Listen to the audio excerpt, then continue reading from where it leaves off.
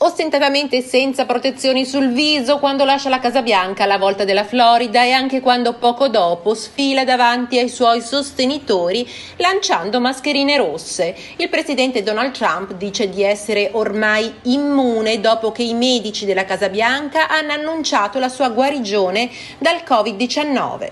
In Florida era la sua prima manifestazione elettorale da quando ha rivelato di aver contratto il coronavirus questo mese, mentre il conto alla rovescia per le elezioni del 3 novembre è ormai iniziato a Sanford, Florida, è stata la prima tappa di una lunga settimana per il presidente 74enne, coprendo diversi stati dalla Pennsylvania al Wisconsin.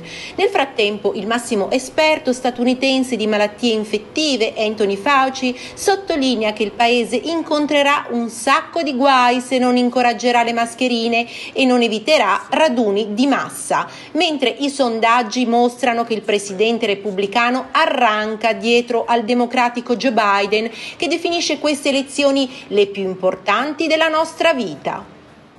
This is the most important election of our lifetimes. Queste sono le più importanti elezioni della nostra vita, non per il fatto che io sono in corsa, ma per la posta in gioco. Il prossimo presidente plasmerà non solo i prossimi quattro anni, ma i prossimi dieci anni o più. Intanto un Senato spaccato lunedì ha tracciato le linee di battaglia sulla conferma del giudice Amy Coney Barrett, scelta dal presidente Trump per coprire un posto vacante della Corte Suprema, quello dell'icona liberal nonché la più anziana giudice della Corte Suprema degli Stati Uniti, Ruth Bader Ginsburg.